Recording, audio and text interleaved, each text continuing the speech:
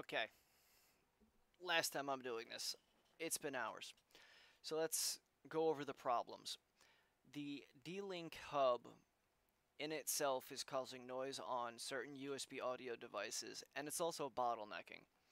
Both Akasos, regardless of whether or not they claim that their 4K Ultra HD cannot be pushed past 720p, even plugging straight directly into my PC at USB 3.0 speeds, the Akasos, even with their buffering turned off and optimal frame rate, they just do not push uh, above 720p. Now, I have both Akasos and the USB sound card currently plugged into the D-Link USB hub. However, whenever I plug in my USB microscope, the microscope, which is capable of 1280 by 720, which is the native of the Akaso, and my current video landscape in itself. I wish I could get it bigger, but we're not going to 1080p. Sorry. We'll have to deal with this some other way. Now, I've got both Akasos working, so let me uh, just jump over to the other side of the bench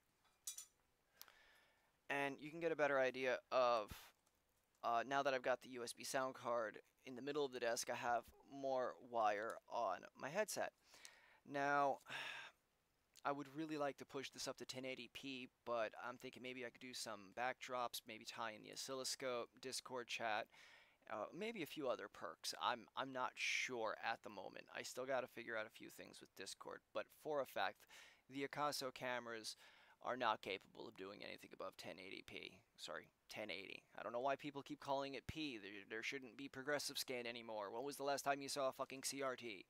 I'm sorry. I've I've been doing this. Well, you know what? Let's go to the other camera because I got my Raspberry Pi Zero over here. We're gonna take it to the microscope and give that little fucker a test. Okay. All right. Let's get back over to.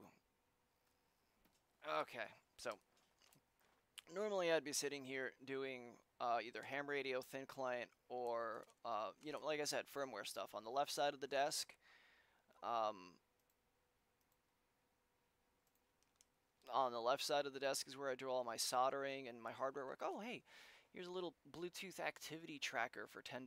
Nice OLED display, a couple of MEMS sensor, some pogo pins, and uh, I think we might be able to rewrite some firmwares for that. I mean, I don't trust that thing, but you know, due to the app's permissions, but, you know, regardless. But, you know, that's that's my point. The left side of the desk, this is where we start taking stuff apart, like my this little Bluetooth speaker, my 2.4 gig, couple 2.4 gig modules. You can see I got some projects going on, and then it comes, once everything starts coming together, we're going to slide back over towards the, uh, the middle of the desk.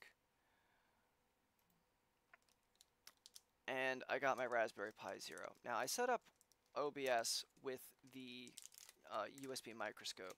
And um, if I haven't said it already, that was sunrise when I started this shit, okay? It is currently sunset. I've been at it all day, if you can't hear it in my voice or see it in my eyes right now.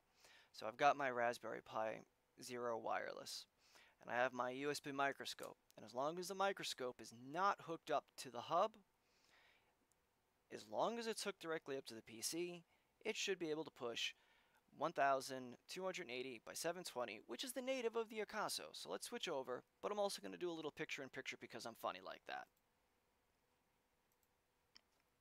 So here you see the USB microscope feed. Um, yeah, it's a little laggy. I, I probably shouldn't be pushing. Honestly, 1280 by 720 isn't its native resolution but for what we're doing here, you you can see everything that we need to see. I mean, there's there's not that much lag to it. In fact, I noticed something with this board. I mean, I got these for five dollars at Micro Center, and uh, as I was inspecting the boards, I think I can understand why. Um, nothing major league, but which edge was it? One of these edges was just really gnarly. Like they didn't cut it with a very sharp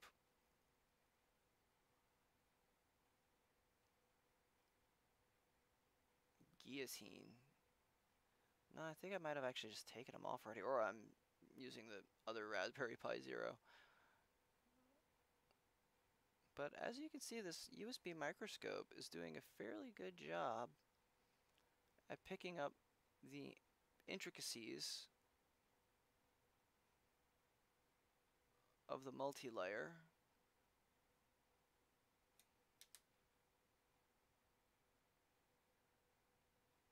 And we do have brightness control. So we can go and turn off light or bring it up.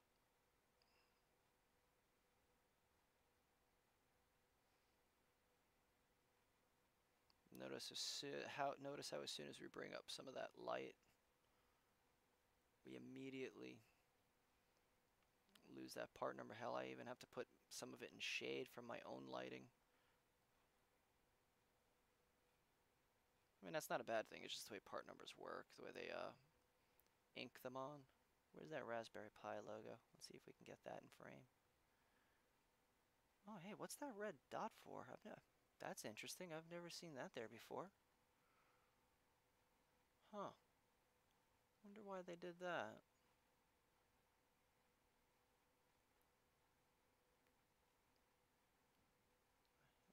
Here's our camera connector. I got to get a couple of cameras for these guys. I got some pretty uh, interesting project ideas. But as you can see, this this little uh, USB microscope's not doing a half bad job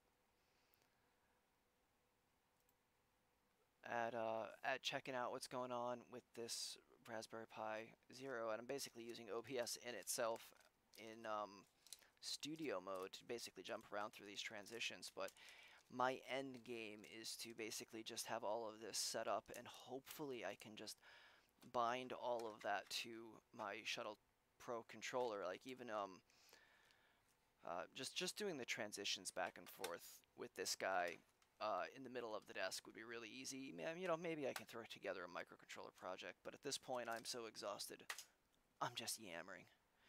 So uh, we've made some progress. We've got the dual Akaso set up. We've got the microphone set up. We've got USB audio set up.